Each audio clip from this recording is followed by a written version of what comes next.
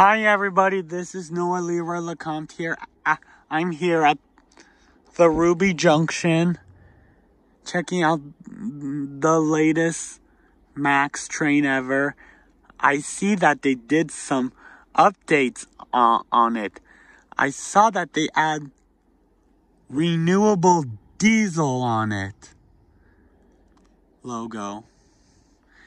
You TriMet workers, you guys did a very good job.